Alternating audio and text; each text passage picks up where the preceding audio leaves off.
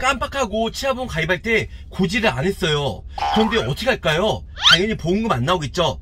저 그런데 보험왕이 고지를 안 했어도 보험금을 받을 수 있는 꿀팁에 대해서 설명해 드릴게요. 끝까지 시청해 주세요. 시청.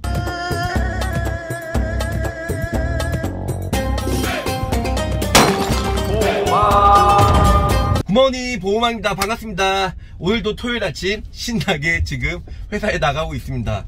자, 다른 사람들이 솔직히 회사에 나간다면 별로 기분 좋지 않을 거예요. 그것도 금요일날, 뭐 월요일날, 화요일날, 평일도 아니고 주말에 나간 다음에 당연히 기분 안 좋겠죠.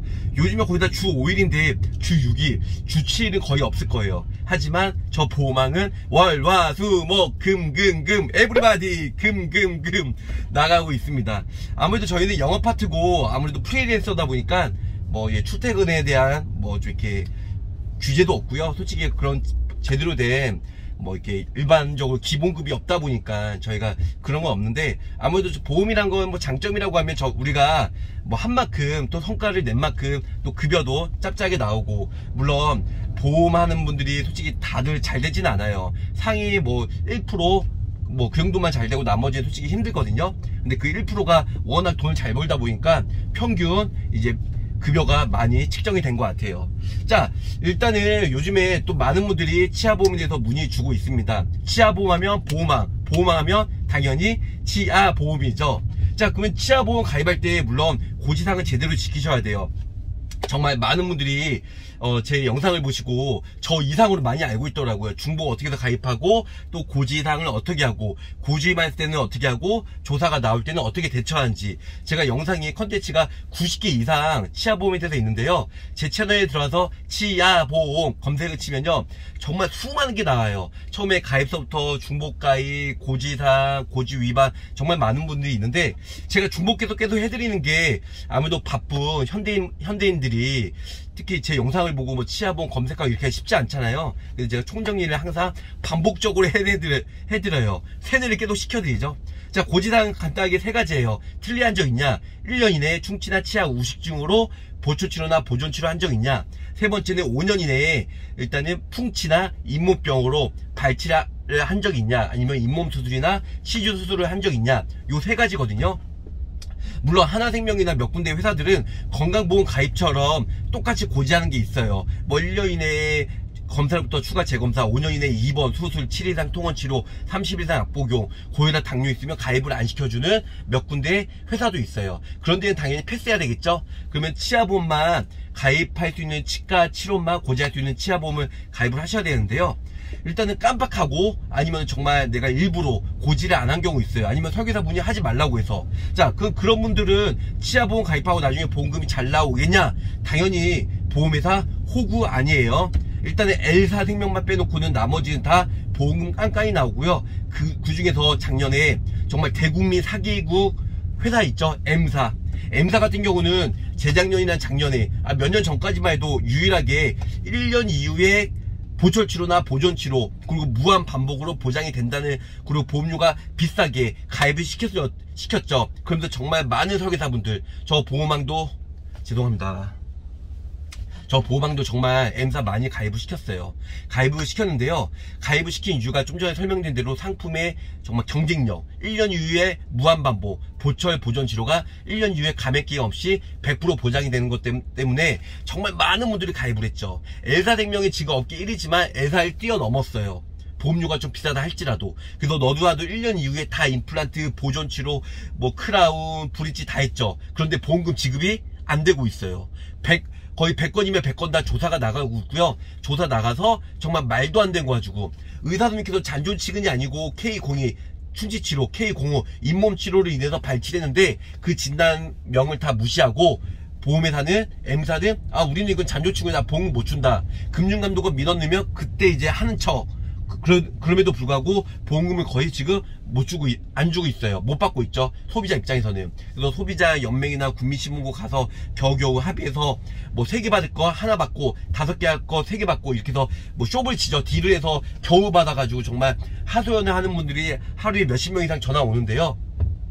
정말 M사가 그렇게 될 줄 몰랐어요. 정말로.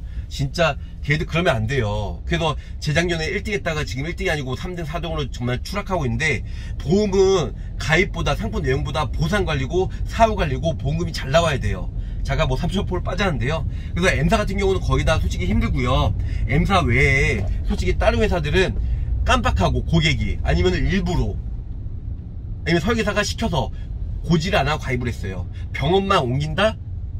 다 찾아내요. 네. 그래서 고, 병원만 옮긴다 해서 무조건 보험금이 나오는 게 아니에요. 물론 건바이 건마다 틀려요. 치아보험 가입하고 90이 있다가 치아보험 청구한 사람, 1년 있다가 청구한 사람, 3년 있다가 청구한 사람, 보험회사에서 조사하는 그런 난이도가 틀려지겠죠. 왜냐? 보험회사에서 딱 90 있다 청구하면 당연히 냄새가 나겠죠. 당연히 조사가 나가요. 1년 있다가 나가요. 2년 있다가 아슬아슬해요. 3, 4년 정도는 조사 안 하고 거의 다 보험금 지급이 돼요. 왜냐? 보험금 받는 것보다 보험료 냈던 게 많다 보니까. 그리고 3, 4년 정도면 보험회사가 아 이분은 정말 정상적으로 고지하고 정상적으로 가입을 했구나. 그렇게 판단을 하는 것 같아요. 물론 건바이 건은 틀려요. 조사가 나가는 경우도 있어요. 근데 조사가 나가면 보험회사 자체적으로 나가는 게 아니에요. 외주업체죠. 서브웨이. 아니면 손해상사들을 따로 고용을 해요.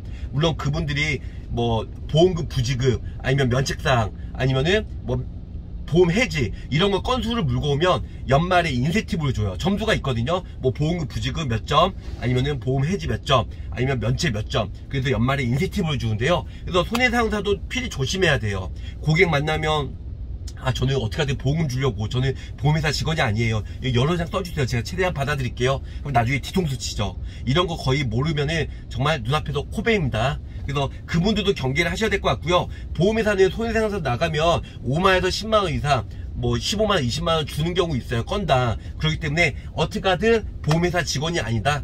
그래서 일단은 보험 가입하고 나서 나중에 뭐 물론 보험 가입 전에 뭐 고지반을 작정하고 해야 되겠다. 그러면 주소지를 옮기던가 뭐 가입할 때는 주소지를 딴 데로 하던가 아니면은 뭐 병원에 옮겨도 보험금을 주, 는 회사로 가입을 하던가 아니면 여러 가지 비급여를 하던가 여러 가지 꿀팁이 있거든요.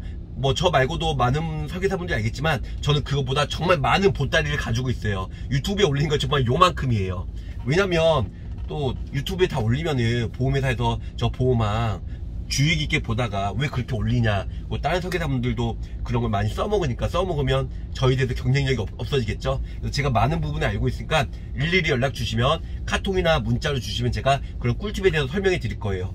작정하고 가입했으면은 고, 작정하고 고지반하고 가입할 거면 저 보험한테 연락 주시고요. 아 가입을 했는데 저한테 가입할 건 가입 안 했건 간에 가입을 했는데 어 나 깜빡하고 1년 이내에 충치료 받은 거 크라운 받은 거 임플란트 받은 거 고지를 안 했어요. 아니면 몇 년 지나서 고지를 안 했어요. 그럴 때도 저, 저한테 연락 주시면 제가 보험금 받는 꿀팁에 대해서 설명해 드릴게요 자 그래서 깜빡하고 고지만 하고 가입을 했어요. 그럴 때는 당연히 병원을 옮기셔야 되겠죠. 병원을 옮기셔서 그쪽에서 치료받고 보험 청구하셔야 될 것 같고요. 기존에 갔던 병원에 차트를 한번 보세요. 내가 고지 위반 했는지 안 했는지 1년 이내에 가입일로부터 1년 이내에 내가 치료를 받았던 부분을 고지했는지 안 했는지 5년 이내에 잇몸병이나 풍치로 인해서 발치한 부분을 고지했는지 안 했는지. 근데 보험회사는 잇몸병이나 풍치로 인해서 고지를 하라고 그래요. 근데 저희는 그걸로 인해서 엔드예요. 그리고 그걸로 인해서 발치했으면 고지사항인데 단순한 풍치나 발치로 인한 거 진단명은 고지사항이 아니다.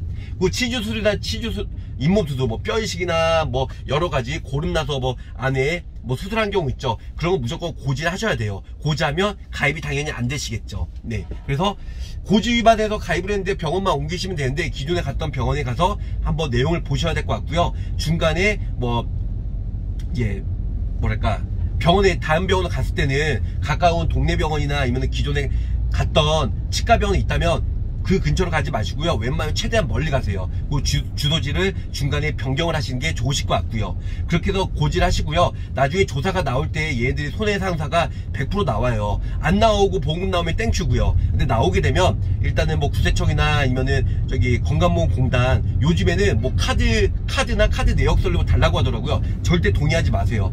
보상하지 않는 손해는 보험에다가 찾는 거고 반박이나 보상을 왜 못 해주냐 반박을 하는 거 우리 그 앱, 우리 뭐죠? FC나 아니면 고객이 같이 의논해서 그런 부분을 반박하면 되니까요. 그래서 일단 보험회사가 그런 거 보상하지 않는 손해를 찾을 거예요. 그럴 때 우리는 절대 해주지 말고 한 장이나 두 장만 위임장 써주세요. 뭐 건강보험공단 구세청 절대 안 됩니다. 뭐 카드 명세서 절대 안 돼요. 그거 해주시면은 나중에 불이익이 생깁니다.